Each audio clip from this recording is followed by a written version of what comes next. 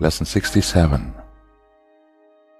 Love created me like itself. Today's idea is a complete and accurate statement of what you are. This is why you are the light of the world. This is why God appointed you as the world's Savior. This is why the Son of God looks to you for his salvation. He is saved by what you are.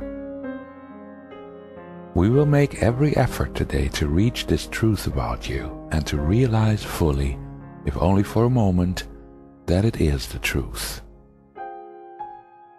In the longer practice period, we will think about your reality and its wholly unchanged and unchangeable nature.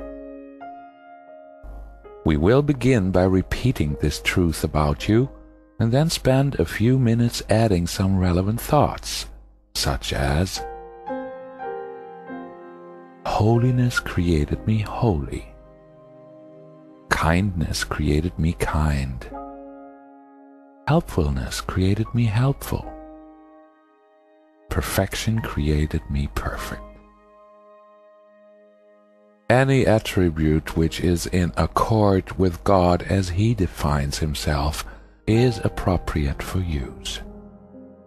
We are trying today to undo your definition of God and replace it with His own. We are also trying to emphasize that you are part of His definition of Himself.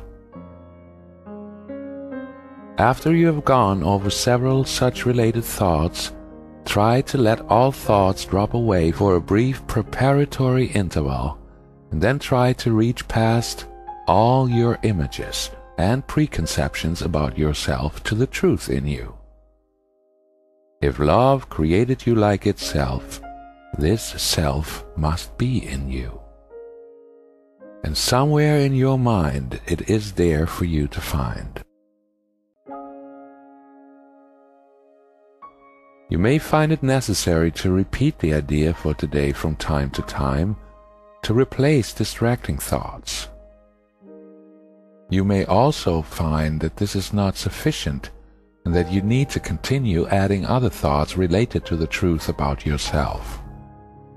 Yet perhaps you will succeed in going past that, and through the interval of thoughtlessness to the awareness of a blazing light in which you recognize yourself as love created you. Be confident that you will do much today to bring that awareness nearer, whether you feel you have succeeded or not. It will be particularly helpful today to practice the idea for today as often as you can. You need to hear the truth about yourself as frequently as possible because your mind is so preoccupied with false self-images. Four or five times an hour and perhaps even more, it would be most beneficial to remind yourself that love created you like itself. Hear the truth about yourself in this. Try to realize in the shorter practice periods that this is not your tiny solitary voice that tells you this. This is the voice for God, reminding you of your Father and of yourself.